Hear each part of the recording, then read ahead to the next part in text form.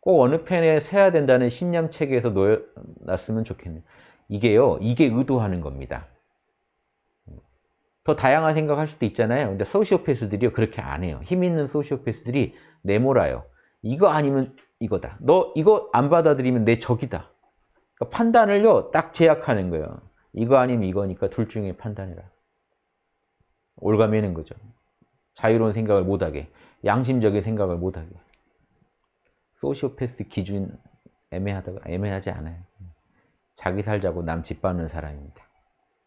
자기 행복하자고 남의 행복을 깨는 사람입니다. 인간은 소시오패스적인 게 있어요. 저도. 저, 저 행복하자고 남이 좀 힘들어도 눈 감는 거 있어요.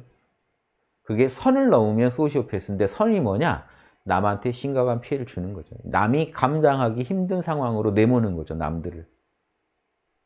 피해자들이 있어요. 반드시 소시오패스 옆엔 피해자가 있습니다. 거기에 대해서 이제 피해자가 나왔을 때 또 반응을 보시면 돼요.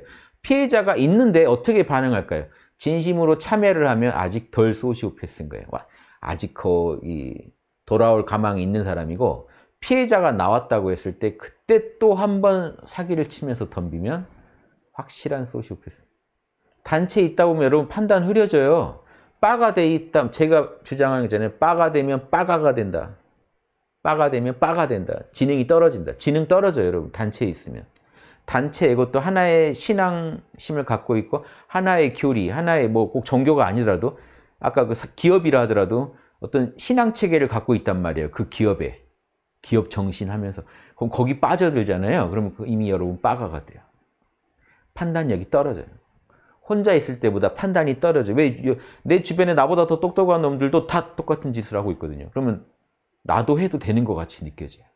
그래서 웬만한 고등치 팬치는요, 그, 그런 조직 안에 들어가 있으면 그냥 휩쓸립니다. 빠, 빠가 되면 빠가 된다.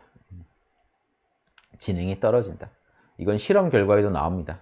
서양에서 이런 실험도 했어요. 지능이 떨어져요. 판단을 못해요. 정확히. 거기다 막 교리로 세뇌 걸면요. 그냥 넘어갑니다. 일반인은. 안 넘어갈 수 있는 사람은 보살이에요. 벌써. 자기 양심적 주관이 있거든요. 중심을 잡고 있으니까 안 넘어가요. 보살 자질이 있는 사람이 최소한. 이건 아닌 것 같은데. 보살 자질이 있는 사람.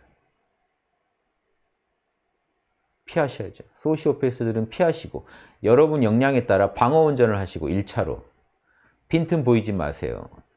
증거 확실히 체크해 놓으세요. 그 사람하고 나눈 대화 다 기록해 놓으세요. 증거 남기고 방어 운전 하세요. 그러다가 여러분 역량이 커지면 또 공격적으로 여러분이 소시오패스를 제압할 수도 있겠죠. 소시오패스가 그 조직, 그, 그, 그 사회에서 힘을 못 쓰게 막을 수도 있겠죠.